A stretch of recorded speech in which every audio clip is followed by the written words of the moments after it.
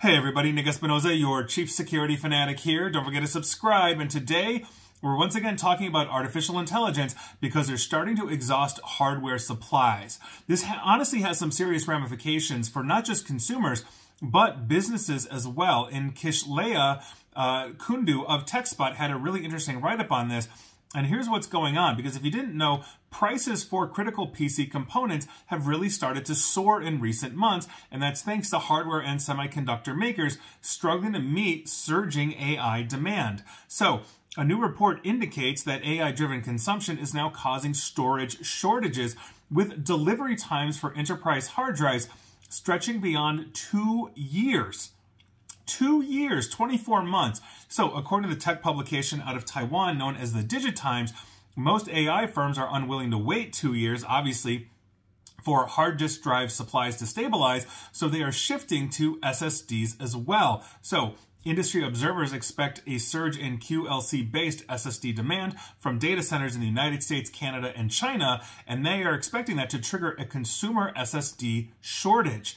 The rapid growth of the AI sector and the race towards AI, uh, or rather AGI, or artificial general intelligence, have put a massive strain on the infrastructure supporting hyperscale data centers. And so beyond GPUs, the, the basically the graphic cards of the world, and accelerators, the surge has driven unprecedented demand for every layer of PC hardware, from CPUs to memory to high-speed networking, large-scale storage arrays, and on and on and on. So this soaring demand has pushed component prices very, very high. It's moving up sharply.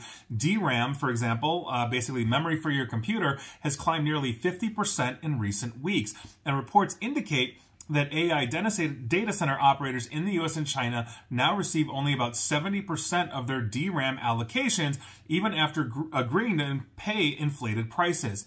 In other words, the manufacturers for essentially all of these components cannot keep up with the absolute demand. The, the, the building boom right now is data centers, and that has some long-term deleterious effects across the entire globe.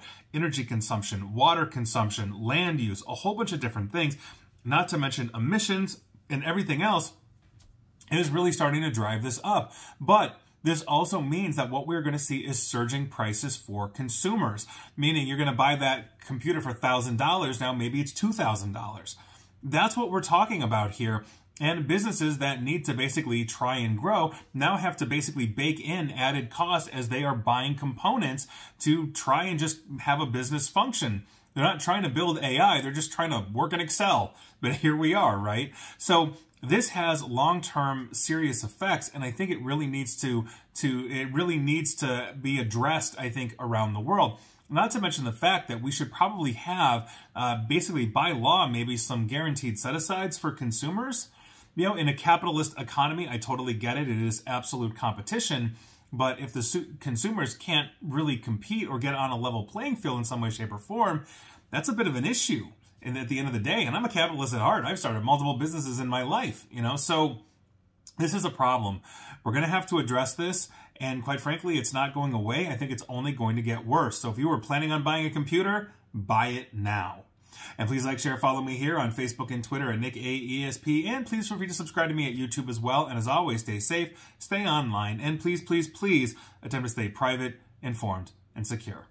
Take care.